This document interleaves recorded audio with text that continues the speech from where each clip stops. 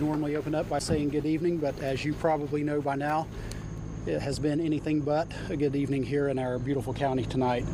So we're here to give you some details. Uh, joining us here at the podium is our state attorney, Bill Gladson of the 5th Judicial Circuit, Major Glenn Hall of the Sheriff's Office, Sheriff Billy Woods from Marion County Sheriff's Office, Major Todd English, and of course Lake County Sheriff Peyton Grinnell.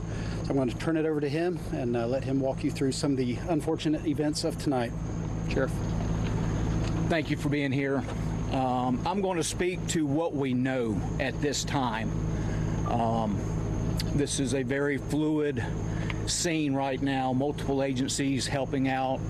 Uh, Florida Department of Law Enforcement is here conducting an investigation, but this all started around 8 o'clock earlier off of Brookside Drive where we received a call of a disturbance that was in progress. Uh, the deputies responded, and while they were conducting their investigation, uh, they were alerted to a home, we believe a couple a couple houses down, that there was a problem there, and the deputies went to that home and saw what appeared to be the back door kicked in, and they could hear a disturbance inside of that home.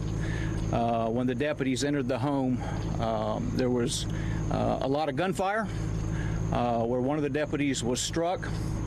The backup deputy that was there with him uh, was able to retreat out of the home. The first deputy was trapped inside of the home. Uh, multiple deputies responded at that time. They immediately formed a rescue team uh, to go back in to attempt to get the deputy sheriff that was still inside the home. And they were just met with a hail of gunfire, a lot of gunfire, where another deputy sheriff was struck um, at that time. They were able to retreat. Uh, obviously, we mobilized our SWAT team, uh, knowing that we were dealing with a scene uh, with a lot of firepower against us. Um, the first deputy that was struck in the shoulder, I've been told, is in stable condition now. The second deputy that was struck, he was struck in the armpit as well as in the groin and the stomach area multiple times, underwent uh, surgery, and is in serious critical condition. And I was just informed uh, a little bit ago that the third deputy that was shot has passed away. Um, those notifications have been made. I will not get into specifics at this time of the names of the deputies. Uh, all of this is being investigated by the Florida Department of Law Enforcement. The individuals that were inside of the home, two are deceased, um, and one was transported. I do not know the condition of the one that was transported, but two of the suspects, if you will, that were inside the home are deceased, and one was transported out. Uh, with that, I'll take any questions. What kind of call was this, Sheriff? Was this domestic? I mean, once your deputies got in there in that barrage of bullets, what was the situation? What happened? So, obviously, all that's being looked into. Um, all, all I can tell you is it was a very violent scene. Uh, the deputies went to that home to conduct a well-being check uh, at the request of the complainant that was the original disturbance call. And they could hear a lot of commotion going on in there, uh, and that was the reason they entered the home. And uh, as I stated, they were met with a uh, volley of gunfire. Sheriff, the deputy that has unfortunately passed away was.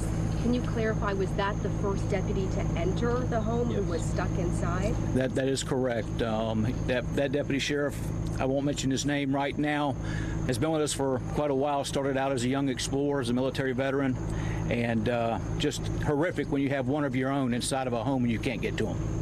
Are there words you can offer to this community? We have been waiting out here. We have seen people who are waiting along with us who have had so much concern for your deputies and your staff tonight. Yeah, this is a great community. You know, it was uh, February of 2005 was the last time we lost a deputy sheriff in Lake County, so it's it's been a long time, thankfully. But uh, uh, tonight, here we are again. But the uh, community outpour has been great. Considering the barrage of bullets and the situation that your deputies were under, how were you able to get the suspects finally? Because we saw from Chopper 2 basically a hole that was knocked in the side of the house. Even under the fierce conditions, how were you able to complete this? You know, we uh, we have equipment for that, and uh, that's the reason we have this equipment. Um, and and we tore the home apart uh, to get in there, uh, so we could get that deputy out of there. Um, it was just a uh, uh, it was a chaotic scene from the start until the end. Were the assailants deceased when you entered the home? Uh, two of the assailants were deceased upon SWAT entering the home, um, and the third one's been transported. And this was an initial disturbance at a different home. That's correct, in the, in the, in the very near proximity. Were they related? The two. That's all being looked at right now. Safe to say there's no longer a threat to the public on this road. No, we, we do not believe that there's any uh, threat to the public. Everybody that was involved is accounted for uh, and, and uh, in custody. We saw a number of law enforcement agencies assist. At what point were they called in? How did that kind of play out? Uh, you know, when, when, when a law enforcement officer shot, especially here in the state of Florida, you don't have to ask for help. They show up. You know, Sheriff Woods from Marion County, FDLE, uh, had the FBI here helping, um, alcohol, tobacco, and firearms, many, many agencies here. Uh, and, and, and that's what we do. We come together for this. And uh, it's going to be a long time before uh, we get back to a sense of normal.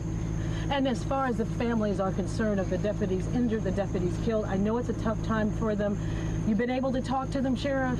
Um, I, I have our critical incident stress management team with them. When I leave you, that's where I'm going. Anything else you want to add? Because this has been a tough situation. And I know it's tough for the men and women in blue and black in a situation like this because you're all family. Yeah, I, I would just ask that uh, you keep the men and women of this agency and law enforcement in general in your prayers. They have a tough job, um, and uh, we, we lost one tonight.